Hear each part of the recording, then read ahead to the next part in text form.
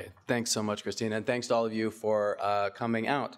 Um, right, so as Christina said, the book was just uh, uh, published last week, and this is the, the first place that I've spoke since the release. And I'm really delighted to be doing it here since, again, as Christina mentioned, I spent a substantial portion of my life upstairs on the sixth floor here um, uh, researching the history of the Mission District. Forgive my voice, I have a cold that just decided to settle right here this morning, so I have to power through.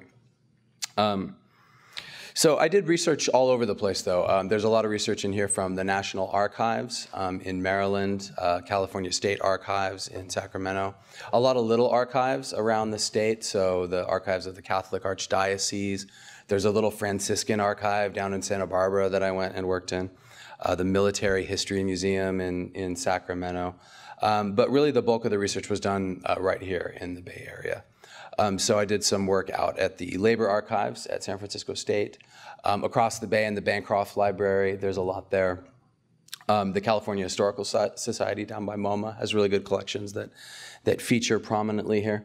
Um, but but if there's one set of collections that uh, really are featured more than any other, it's the ones right upstairs here in the San Francisco History Room. And they really are terrific collections. So I encourage all of you to, to use those collections and, and to support them however, however you think you can. Um, one big uh, boon, one big win uh, with my publisher was that I got him to uh, put about 90 images in the book, which is a lot more. Some in color, a lot more than you can usually get in this kind of a book. And um, the San Francisco History Room um, provided it's got to be half of them at least. So, and that includes this this cover image, which I uh, which I really loved. Um, these come from deep within the uh, the archives of the San Francisco Unified School District. Um, this is from 1948, um, and what it is, um, it's a it's a textbook for uh, grade school students. I think these are fifth graders, right? So this is part of the social science curriculum. This book is called um, San Francisco Today. And when you read read it, you know, from the perspective of the 21st century, it's it's very clear that what it is is a, a method for indoctrinating young people into the ideas of, of city planning, and particularly um, of urban renewal, which was on the way um, in the in the coming decade. Um, so you can see here you have these, you know, poor little waifs here in the shadows of the the dark, dangerous Victorian city that's falling apart, and these workers here, the bulldozers and the construction, is kind of delivering them um, to this sunny, bright, airy, modernist future, um, which looks a whole lot like suburbia. Um, so um, the book, I, I, spend a lot of time looking at kind of the nitty gritty of planning power, right? Who had the power to decide what was going to be built where, what kind of coalitions formed, whose interests won and whose interests lost, right? But I also spend um, a lot of time really attending to the cultural dimensions of that story, you know?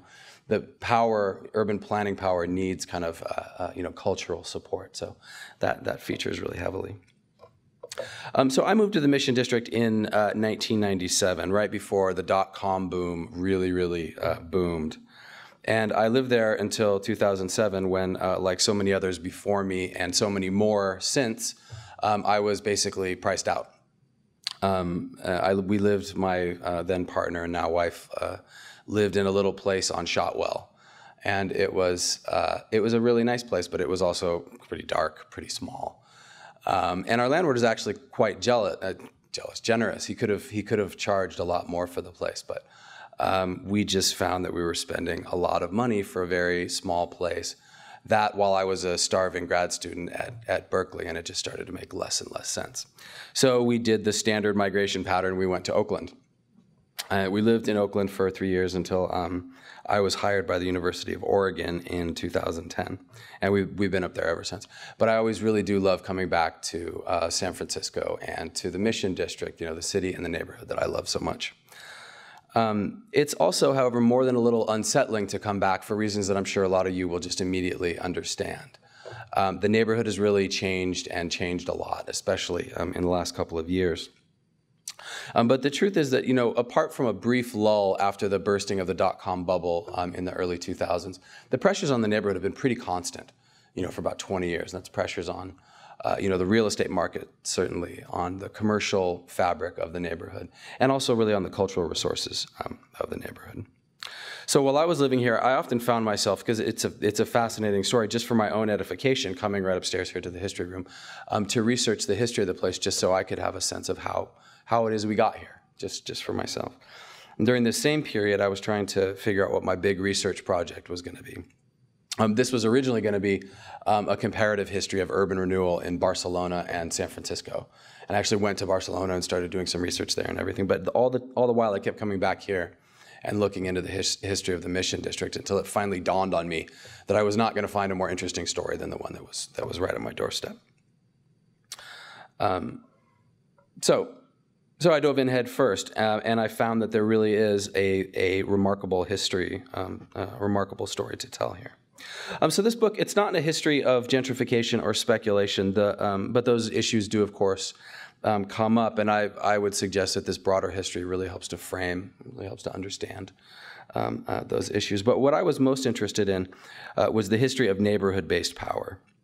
When and under what conditions was the neighborhood able to plan for itself? Uh, the book begins in 1906. Uh, no sooner had the embers of the Great Fire cooled um, than there erupted a fight over how the city would be uh, rebuilt. And that marks, if not the very first, then certainly a very early and very important moment um, when residents of the mission first proclaimed the right to, to plan for themselves. The book stops in 1973 when the Nixon administration cut off funding for the Model Cities program, which I'm sure a lot of you know was a Great Society program that provided uh, federal funding for um, well-organized uh, low-income communities to, uh, um, to, to, for planning initiatives. Um, I stop in 1973 for a couple reasons. Um, for one thing, um, I found that the story of the Mission District from the 1970s on is actually reasonably well understood. There's a, there's a few good books on it. There's also people who just lived there through the period who, um, who remember it. And the standard histories that I always encountered uh, I never found anything that really sharply contradicted the stories that I found in the archives. When you go back earlier, though, um, when you get back into the 1960s, the literature really thins out dramatically. Um, there's one uh, very good memoir from an organizer named Mike Miller that, that features quite a bit um, here in the last chapters of the book. Um, there's a good book by a guy named um, uh, Tomas Sandoval. He's written some stuff about the about the 60s. But once you get back into the 60s, it, it gets pretty sparse. When you get back to World War II and the pre-war period, there's next to nothing. It's it's very surprising. The Mission District has almost no literature on it. There's a few discussions of it um, uh, here and there. Um, but uh, that's a big gap because I found that that longer history was really uh, incredibly fascinating, both on its own terms and also if you want to understand the history of the present. And what I found, and what I argue in the book, is that you can really trace a pretty clean lineage, um, even from groups like the Mission Anti-Displacement Coalition that are, that are active today, back to the 1960s, back through the war, and even all the way back um, to the groups uh, that organized during the Progressive era. Now, a lot of the goals and politics and worldviews of the present day groups, they really could not be more dissimilar um, from some of the groups in the progressive era, whose politics are sometimes rather shocking uh, to 21st century sensibilities, as you'll, as you'll see in a few minutes. But when you look at the kind of larger structural questions and you think in terms of like institutional capacity and strategies, there really is an unbroken lineage uh, from the progressive era right up to the present. Um, now, in the popular discourse as well as in the scholarship, we tend to think of urban-based planning as being reactive, right? Um, there's a big plan for public housing or urban renewal or a freeway, let's say, and a disparate collection of people organized to fight it. But then the resulting coalition inevitably disintegrates the moment the battle at hand is either won or lost. And certainly before the coalition is able to put forward a plausible alternative vision for the neighborhood, it just kind of falls apart, right? And that's the standard picture that we have of neighborhood-based planning. It really appears to be kind of you know, episodic and reactionary. Um, and sometimes that is exactly how it goes. Um, but I think the central argument of this book is that we make a big mistake when we instinctively characterize neighborhood-based planning that way. Often that's not the story. And it certainly is not the case in the Mission District, which has a very durable and deeply rooted tradition of neighborhood-based power. Um, so in my talk today, I want to I want to focus on the earlier period of my study for a couple of reasons. Uh, first of all, I'm firmly in the camp of people who hates it when, when, when someone gives a talk about a book that's 400 pages and covers 70 years and, and all. So this would be 70 years and 50 minutes and just like a, a couple of little snapshots. I prefer to go in deep on one period so I can really give you a, at least a little bit more of the texture um, of the period. I also want to focus on the earlier period because the story is almost completely unknown. Um, surprisingly. It's also um, uh, where I have a lot of the, the most compelling visual material. So um, it just makes more sense in a, in a context like this.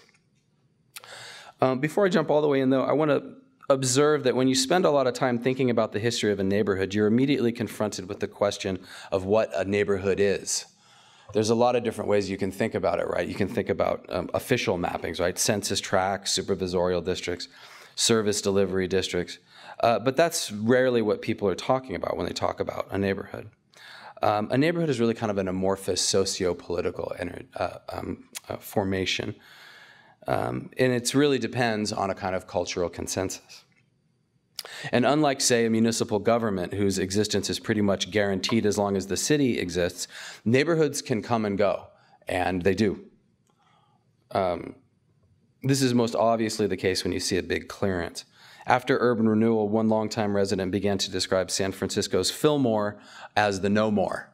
So this is the, the Fillmore district uh, here. And for a lot of the old residents, that neighborhood is gone. Right? Now, a lot of people will tell you that you know the Fillmore still exists, even if it exists in dramatically altered form. But consider the case of um, the Five Points neighborhood in Manhattan, a notorious 19th century slum. Um, it was both physically cleared and culturally erased. There is no Five Points anymore, it's just gone. Uh, but the, the thing is, you don't need dramatic state action for this kind of thing to happen. So let's think about uh, an area that used to be called the Latin Quarter in San Francisco. Um, this is kind of over North Beach. Um, this was a pre World War II uh, neighborhood, and originally that term uh, was used because the area had a large kind of pan European population, but a lot of Southern Europeans um, in particular. But I found that by the progressive era, that the term often, often referred specifically to the Colonia, which was the Spanish-speaking neighborhood that, that was kind of between Russian and Telegraph Hills. Um, it was uh, there was a lot of class diversity there, but it was largely a middle class and even upper middle class uh, neighborhood. A lot of the Spanish-speaking residents they they were kind of higher ups in some of the importing companies, right? So like fruit and coffee importing companies. So um, it had a really strong um, uh, Latino identity, so strong that the Catholic Church uh, located a language parish there. It's uh, Nuestra Señora de Guadalupe. Um, so what happened though is that the Spanish speaking gradually uh, moved away until sometime not long after the war. People just stopped perceiving the existence of a Latin quarter and certainly stopped perceiving the existence of a colonia. And then there was no colonia anymore. It's kind of absorbed into the larger North Beach. But North Beach is not the same thing as the colonia. It's a different neighborhood. All the buildings are still there, right? Nuestra Señora de Guadalupe is still there, but it's no longer um, it's no longer a church. It's no longer a, a language parish in any case. So the neighborhood is, is um, really gone. So the very existence of a neighborhood requires, first of all, that, that people believe that there is such a thing as, uh, you know, the Latin Quarter or the Colonia or the Mission um, to begin with. And then it requires the continual investment of both material and psychological resources. People need to identify with the neighborhood. And as all of you know, people really do identify with the mission. And that's often kind of multi-generational identifications. Um, and that sense of identification really, I think, needs to be understood as a cultural resource for an area. Uh, without these kinds of local identifications, a neighborhood doesn't even exist um, to begin with. But even when you do have um, that kind of psychological investment, you still have to be really careful because when people talk about a neighborhood, they're often talking about completely different things. Um, and I mean that in a very material sense, as in where the physical boundaries are.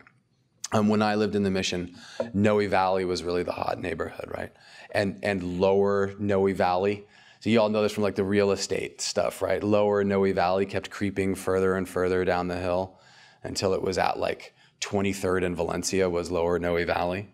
And now that the Mission is so hot, I'm waiting for the moment when when all of Noe Valley becomes the upper Mission, you know.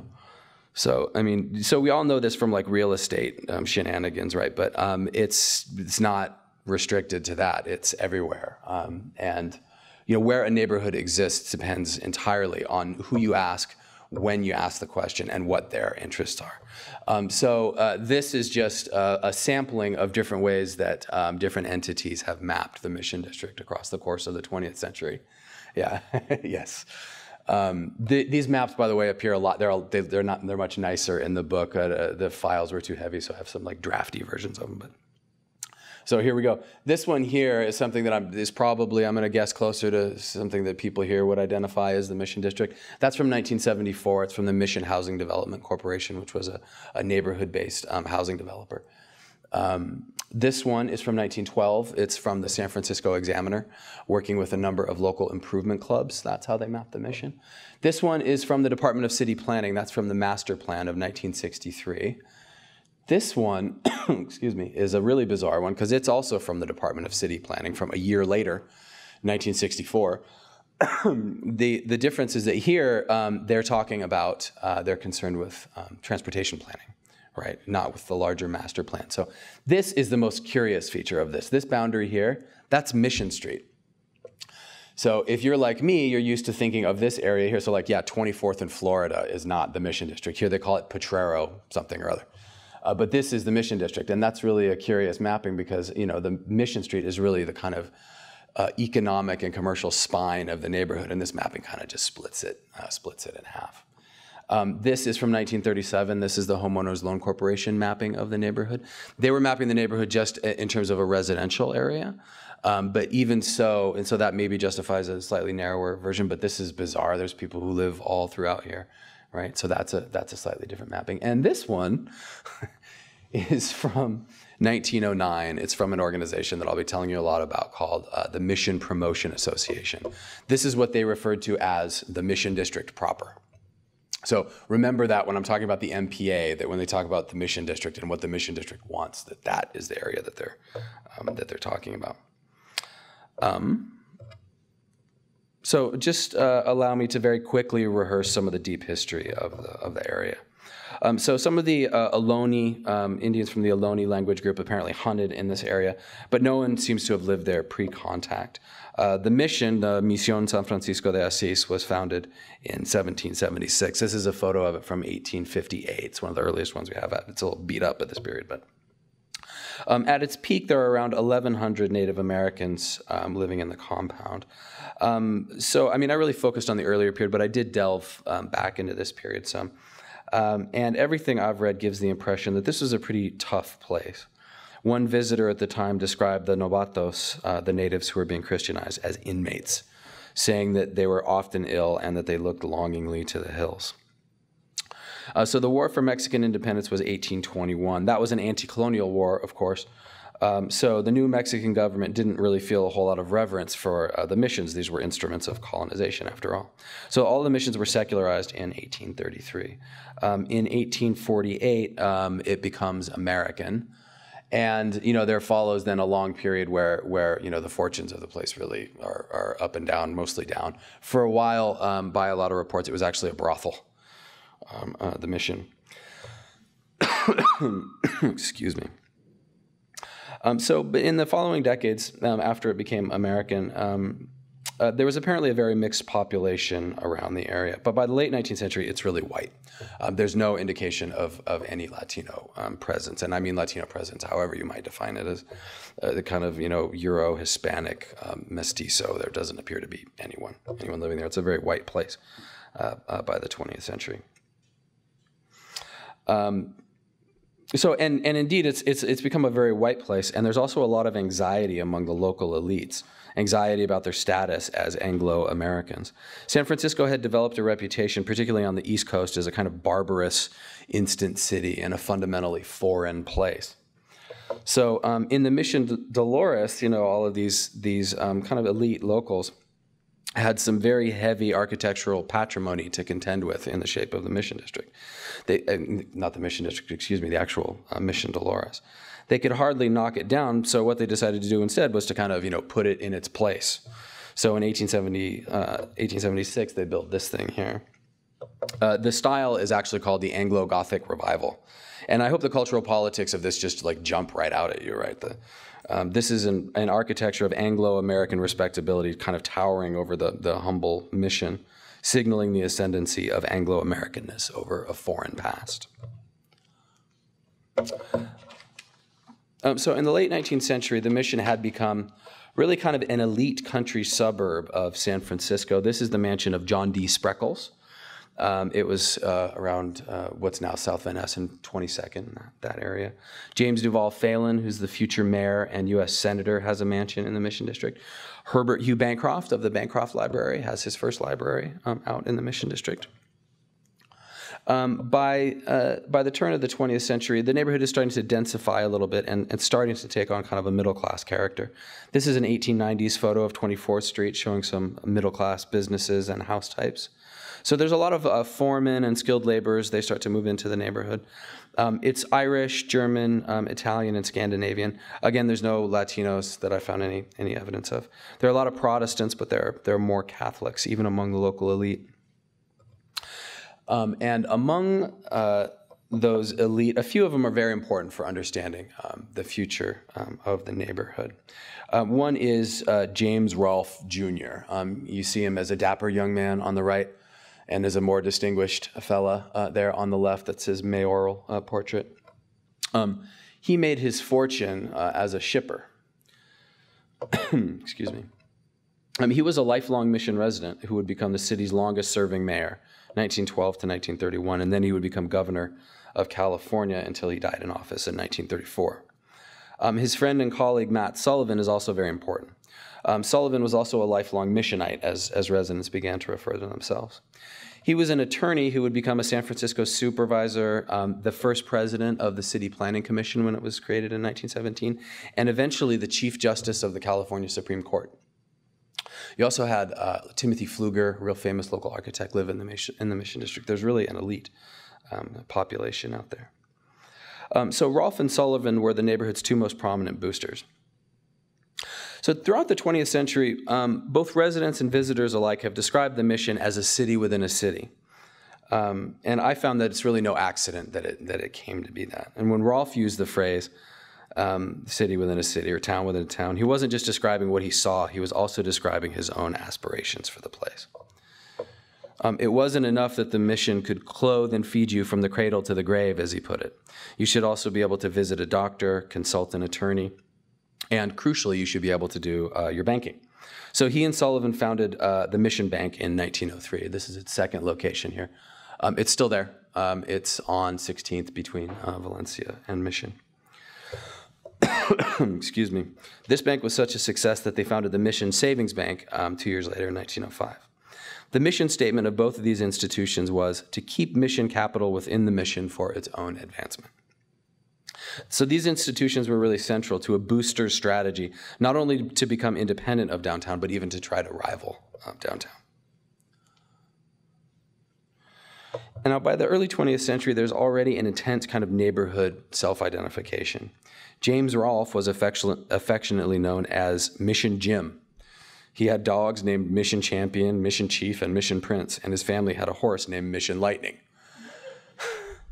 And it wasn't just like his own family's eccentricities. Um, there were a lot of people, I found tons of evidence of this, um, uh, who identified this way. A number of residents were called identifying as mission boys there was a little ditty that people apparently sang. I won't sing it, but the lyrics are, "Oh, I was born in the mission, the M I S I O N, where the girls are the fairest and the boys are the rarest, the M I S I O N."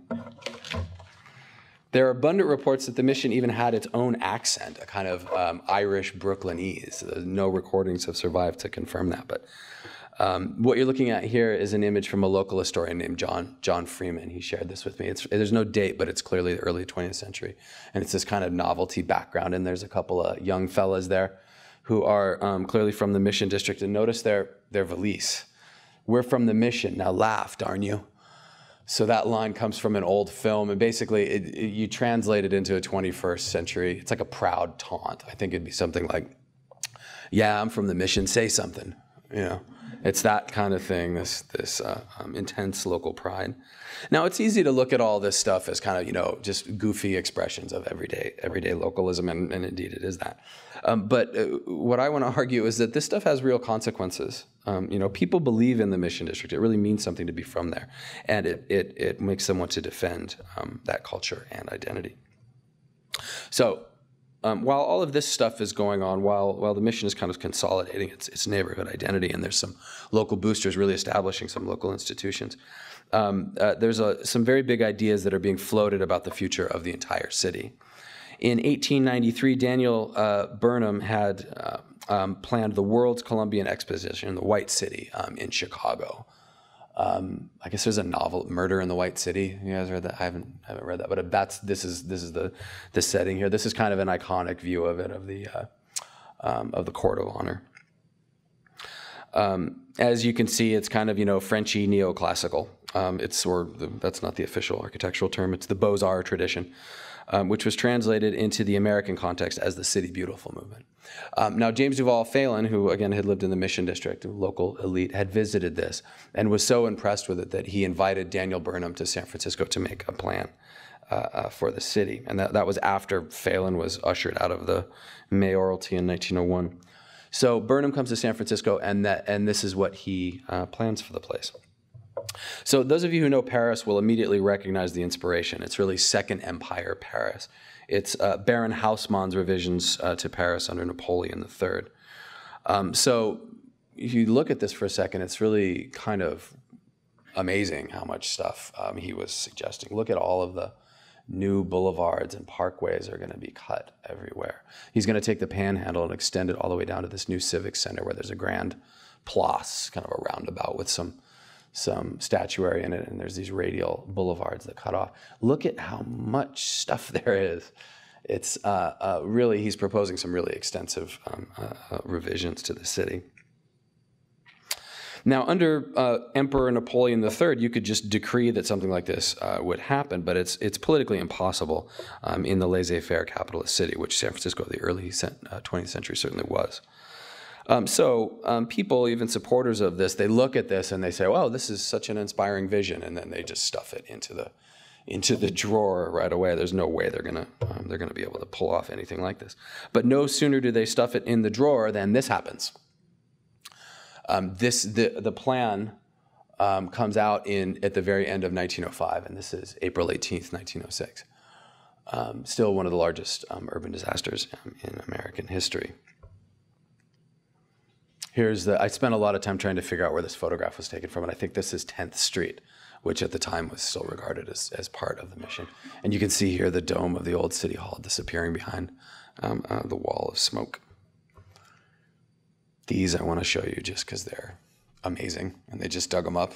They're uncanny photo, color photos of the disaster. This photo is useful for me for a couple of, of reasons. First of all, it shows the scale of the disaster. So just take, you know, just take any one of these, look at how big a lot is, and just take that and extend it out into the distance. So this is uh, Market Street here. Um, this photograph is also useful because it, it highlights uh, one of the reasons that people have always wanted to rationalize um, San Francisco, right? You have this grid here that doesn't really talk to this grid here and doesn't really talk to that grid there um, you know, creating this circumstance that has uh, enraged, you know, even locals, but certainly, you know, visitors and certainly transportation planners for, you know, whatever, 150 years now. Just another um, image of the destruction. so, um, what happened was that you know you had all these people who were kind of like the idea of the Burnham plan, but they said, you know, how could we possibly do this? How could we clear all that land? And then this happens, and they look at this and say, well, you know, blank slate. Maybe we really can uh, uh, make this a reality. Um, so what happens is you get this um, kind of odd coalition of uh, uh, that, that, comes together to try to make the plan a reality. You have both on the one side you have both self-described um, progressive businessmen, and they start working with um, City Hall, which at the moment is occupied by Eugene Schmitz of the Union Labor Party. Um, and they're very influenced, they're very well, almost controlled, you might even say, by the Building Trades Council. The Building Trades Council um, really wants this. They're going to have a lot of jobs anyway, but if they have to re- redo all the streets and everything, they're going to have a lot more. So, so they have obvious uh, material reasons to want this. Um, arrayed against the coalition are laissez faire business people who don't want expanded government authority under any circumstances, and certainly not when there's a union labor administration. They're led by Michael DeYoung, who's the publisher of the San Francisco Chronicle. Um, now, there's a kind of standard story that about this episode that people tell. They say that it's some combination of pressure from the Chronicle and the corruption of the Union Labor Party that ends up dooming uh, the Burnham Plan. Uh, my research found that that's really not the story. Um, there's something to that, but there's uh, really um, a lot more. Um, the really decisive pressure came from neighborhood groups, and particularly from um, the mission. Um, oops. And to understand uh, uh, why the mission wouldn't want this, it's first of all important to understand how the mission fared um, in the great uh, disaster. So, as if by providence, uh, the fires stopped literally on the doorstep of, of the mission Dolores, and, and it was actually spared. Here's the burn map. Um, so you can see here the mission actually did okay. There's about 40 blocks in the north, north of the neighborhood, no small area, of course. But all of this survives, right? And when you look at this, remember that this is out here, it's all platted, right? But it's, no one lives there. You know, there's some people who live there, but it's still largely just sand dunes. The city really clusters here uh, in the east. So this is a substantial portion of the city um, that burns, and you know just that very fact guarantees that there's going to be a lot of displaced people and a lot of displaced economic activity. They're going to be headed into the mission district, and the the locals have to decide. Well, you know, is this going to what they're going to do about it? You know, they could they could benefit from that or they could suffer from it, depending on how they responded. Um, another thing, this gives me an opportunity to point out something else. There's a another story that's often told about the mission district that's that's um, a little askew. Um, what people often say is that, okay, so all the labor unions that are here in South of Market, right, they get burnt out, they move down into the Mission District. And when that happens, all the elites, they move up to Nob Hill and then out to these, you know, Tony new suburbs that are being built out in the west of the city. Um, that's true as far as it goes. Certainly that happened to a certain extent. What that overlooks is that a lot of those elite stayed. You know, the city's longest serving mayor, the chief justice of the California Supreme Court. People talk about the Mission District in the, in the early t- 20th century as if it was just like a union neighborhood. It was. It was a very strong union neighborhood, it was also um, a, uh, um, a home of San Francisco elite. Um, so anyway, um, they have to decide the mission district what they're gonna how they're gonna respond um, to the disaster. Um, now, one thing is uh, abundantly clear to them, though, is that if the Burnham Plan is enacted, it is not going to serve their interests at all. Um, the revisions uh, that would have happened to the Mission District are really pretty much the most radical um, in the entire city. Um, so you can see here, look at this, you know, how many lots are going to be condemned, these grand new boulevards, all of this stuff. Um, you know, there's a big plus up here. Now, and this is the very worst from their perspective, the, uh, the Mission Arcade that was going to be built here. Mission Street is right here. And this is basically going to gut all of these blocks. So that means it's really kind of ripping the commercial core and the source of all the power um, right out of the neighborhood. So, so the Mission District has very obvious reasons to, to not want this. Mm-hmm. Right. Um, so what I found is that the Chronicle was very important in the court of public opinion, but the real fight played out in Sacramento. If the city was going to do this, they needed expanded powers of eminent domain. Uh, they needed expanded powers to issue bonds in order to finance all this, um, and they needed the power to compel utility companies to move their lines. You know, if there's going to be a new street pattern, you can't have like an old sewer running underneath a sewer main, like running underneath people's houses and offices, right? You have to be able to move those things um, uh, to the street. And they didn't. The city didn't have the power to do that at that time. So they need to go to the state in order to, to get them to uh, give them those powers. Um, and now the hearings in the state legislature were where the real fight took place. And they came down to a debate between the Union Labor Party and Matt Sullivan. And Sullivan was speaking on behalf of an organization that was founded explicitly to fight this fight, uh, the Mission Promotion Association. Um, here's their, this is their headquarters. It's on 16th Street. It was founded by Rolph and Sullivan, who also founded the financial institutions in the neighborhood. And this was so this was basically the political arm of that neighborhood interest. Um, and long story here, but basically what happens is they win. Um, and the Burnham Plan was not enacted, not even a part of it. Um, and now, in the wake of this fight, there's a, really a power vacuum in the city. If the municipal government wasn't going to guide the rebuilding, then who would? Um, well, this group of people um, emerged to announce very, very clearly that at least in our part of the neighborhood of the city, at least in the Mission District, we are going to be um, uh, calling the shots. And I'll remind you again that when they were talking about the Mission District, they were talking about that fully half the geographic era, area of, of San Francisco. This was, again, the Mission District proper. And what I found is really surprising. This is a really surprising history. For decades afterwards, the MPA drove planning decisions throughout the entire um, southern half of the city. They got annual appropriations in the budget, and they relentlessly lobbied very successfully um, the municipal government for investment in various public works that they wanted. Um, so this is a, a, big public work called the Bernal Cut. Um, is a widening of an old uh, Southern Pacific line in the Southern Mission District, turning it into a road. Just you know, millions of dollars in this. Um, the armory This is 1915. Here you see it um, before the barrel vault was was uh, installed over the drill court. So I'd always been told the local lore is that um, the National Guard wanted the armory in the Mission District because that's where all the Unionists were, and they wanted to be close by so they could so that they could um, stamp out any insurrection. Right. Um, in the early 20th century, uh, San Francisco is probably the strongest labor city in the entire country. Um, I found no evidence at all um, to support that uh, that story.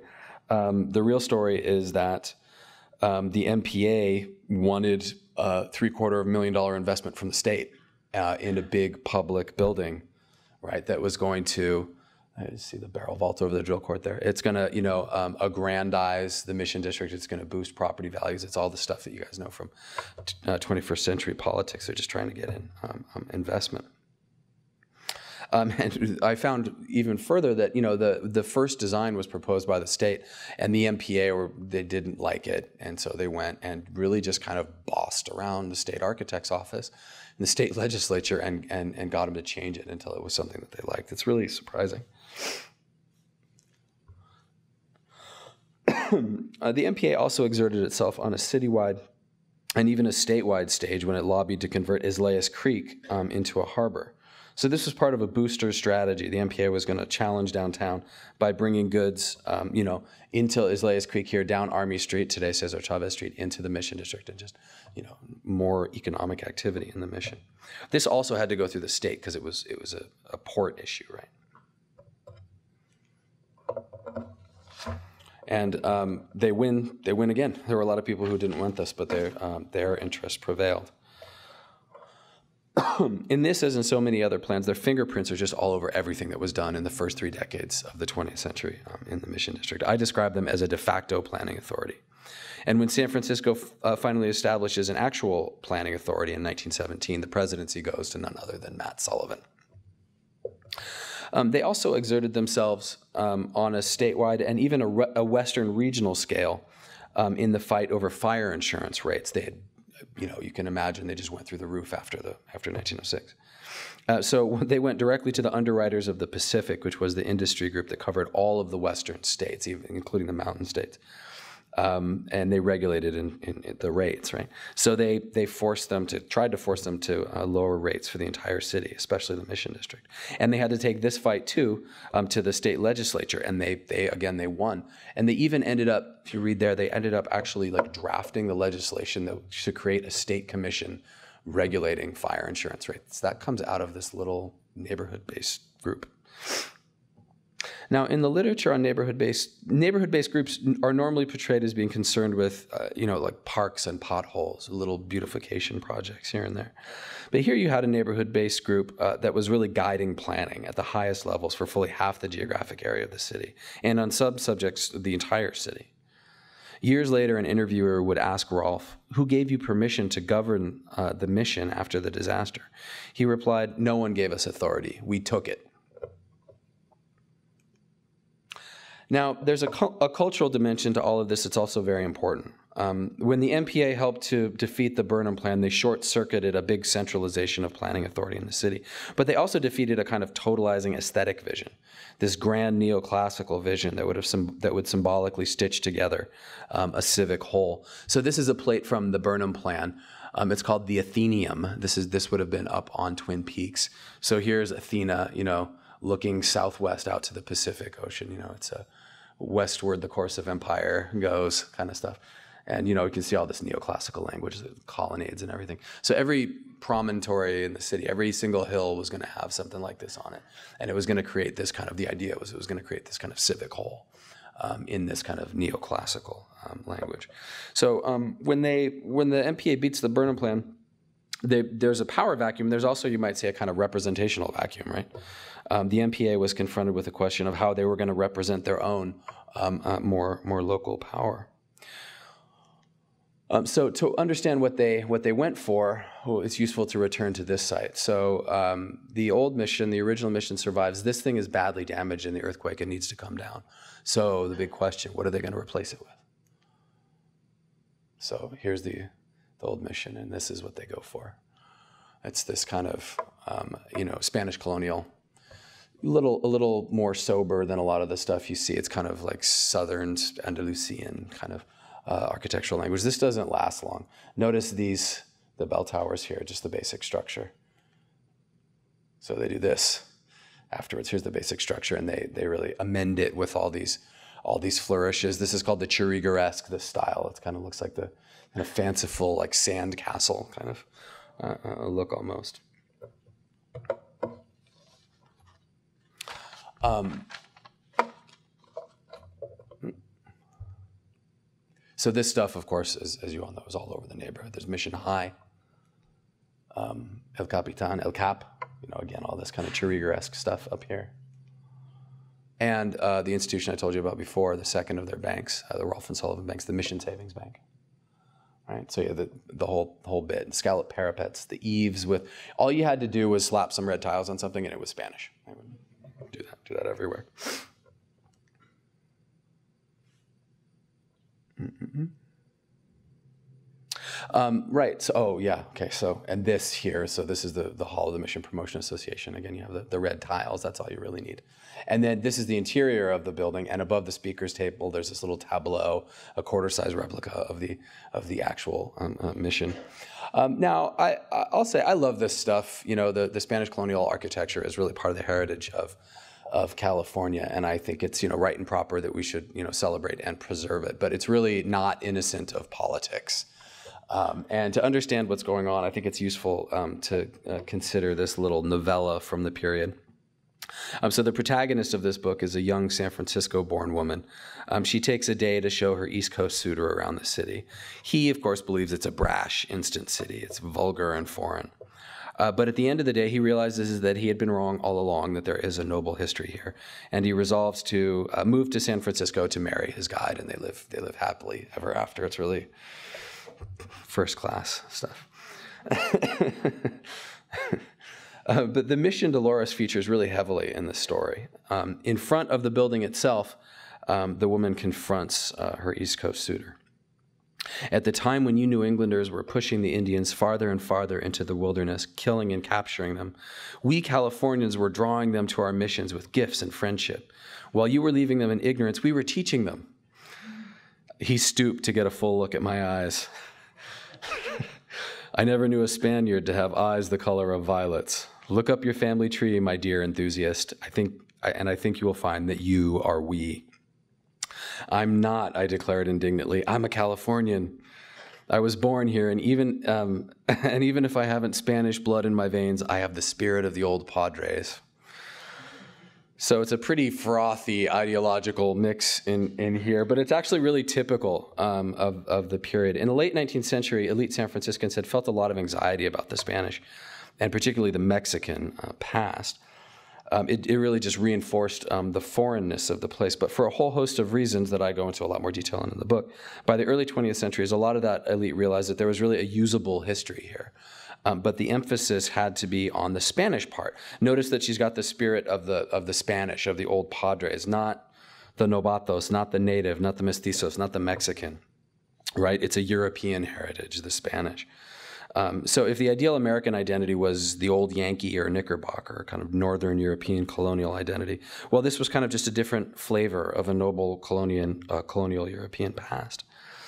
Um, right. So this this uh, you know it's it's not if, if it's not exactly white, it's white enough, and it's European. So so we have a we have a long history too. So this identity was useful in the cultural contest with the East Coast, but the M- MPA uses it throughout the city in, in an inter-district contest for municipal resources.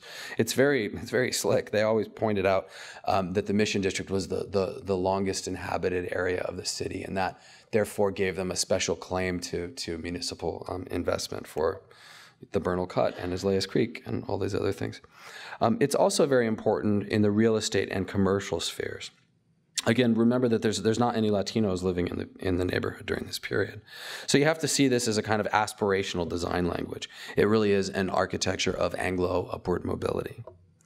Um, the style falls out of favor by the end of the 1930s uh, when this architecture that romanticizes a Spanish past soon begins to sit uncomfortably in relation to an increasingly Latino presence.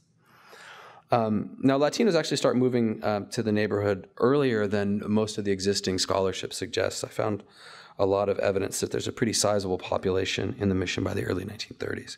I get into a lot more uh, depth um, in, in, all of that in, in, the book and how all of this changes.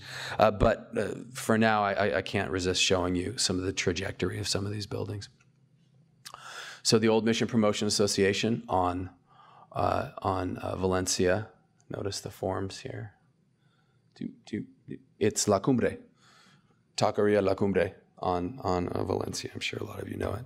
In the interior, these are the two, in, this is the same building. Right, so in this spot in the back where you had this kind of tableau, um, you know, romanticizing a Spanish past, you now have um, a painting that's done in the mission muralist style that kind of um, rather celebrates uh, uh, indigenous identity, not the Spanish part of the identity. Mission Savings Bank. It's 16th in Valencia. I don't, this, this was Val 16 for forever. It was a Mexican market. I can't remember what it's called now, but.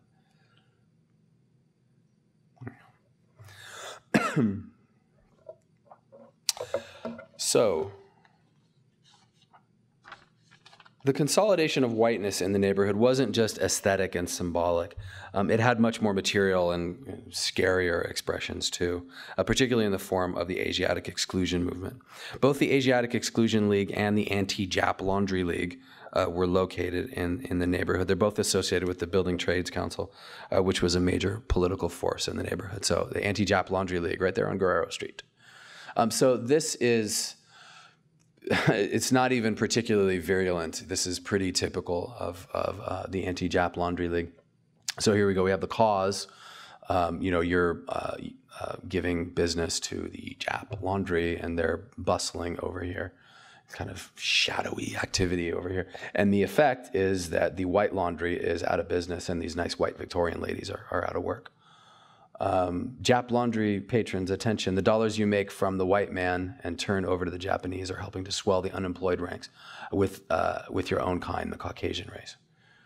Here, down here. Um, is it not suicidal policy to encourage, for the sake of saving a few cents per week, Oriental competition that no Caucasian can meet unless he relinquishes those standards of civilization that are the white man's inheritance upon the white man's soil?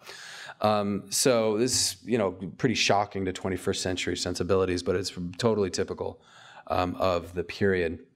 And um, the uh, so this this entity they were they were really focused on local laws and they would just harass um, Japanese-owned businesses, uh, but they also were lobbying uh, the state for um, immigration restrictions. And the Asiatic Exclusion League was also in the neighborhood. They were um, crucial um, to the lobbying effort to pass the, um, the immigration restrictions of 1920. Um, so that, that also is coming out of the neighborhood. Um, so the Mission Promotion Association ends up, you know, adopting anti-Japanese re- resolution, favors expulsion and exclusion from the coast. Um, you know, the um, the leadership of the MPA, I found a lot of evidence that they weren't personally racist. They were actually kind of uh, racial liberals by the standard of the time. Um, but uh, you know, whatever egalitarian impulses they might have felt were trumped by political expediency. They really needed the unions on board, right? They needed a coalition with the, the unions, which were very powerful, um, in order to support their own claim um, to speak for um, for the neighborhood. So the early 20th century Mission District was really consolidated as you know the white man's um, uh, territory in a number um, of different ways. Um, now, in the book, I get into a whole lot of detail showing how these, these coalitions and the associated politics really completely unravel and are uh, uh, renegotiated and, and reconfigured. Um, but the local institutions, you know, throughout the entire period that I that I study, they do continue to draw on the institutional capacity, even as they reject um, some of the politics, and they do continue to insist on the right of the neighborhood um, to plan for itself. The Catholic Parish Church of St. Peter's is one institution that has been in continuous operation throughout the entire period. At the beginning of the century, the church was, was big on defending uh, white privilege. By the 1960s, they had Cesar Chavez and a bunch of farm workers sleeping on the floor of the church. Um, so you sometimes hear people dismiss so-called identity politics as, as, you know just kind of a lot of noise, and there's versions of this that come from both the right and the left. Um, what I found though is that if you really want to understand what a neighborhood is, at least, and a neighborhood is a really important socioeconomic formation, that's really fundamental to our experience and to our political history. You really can't dismiss the way that people identify. Neighborhoods don't even exist unless people identify with them. And in the mission, ethnicity has always been, you know, certainly not the only, but definitely one of the fundamental ways in which people identify uh, with their neighborhood. Now, the manner in which ethnicity function changed almost completely over this period, from a consolidation of white identity and a defense of white privilege until you get into the 1960s when there's a very strong Latino identity. Uh, but it's really uh, more than that, too, though. Um, a local um, authority, and it's really controlled out of the neighborhood, called the Mission uh, Model Neighborhood Corporation, uh, would write in the in the late 1960s that um, the mission wants to hold on to its color. This, by the way, is another thing, like a, a, discursive thing that's really curious throughout the entire period. They always, everyone always anthropomorphizes the mission. The mission does this, it wants this, as if it's a, a political actor. And I, I, say that in some senses it is. You know, the mission wants to hold on to its color, its fluidity, and its traditional role as port of entry for San Francisco. But it also wants to deal with the traditional problems of immigrants and foreign stock of low paid, hardworking, family oriented, blue collar workers who live within San Francisco, a city with a large population of white collar, transient, but frequently unmixed neighborhoods. Its objective is to retain its multicultural, multi ethnic, healthy mix of tenants and homeowners, and its easy flow between income and racial groups. So that was written at the end of the 1960s. And in spite of all the obvious uh, problems, the mission has actually done pretty well on this score, maintaining its character um, even as it changes. Um, now, I definitely count myself among those who are becoming very worried about whether or not it's going to continue, um, uh, be able to continue to um, to preserve that that character. Um, but I will say that that at least this history, you know, the history that I wrote, makes me um, hopeful that that it can, that it will be able to. There's really a deeply rooted tradition of neighborhood-based power here. Um, the Mission District is a place that not only underwent tremendous change over the course of the 20th century, but whose residents and institutions were themselves often responsible for bringing that change about. Thank you.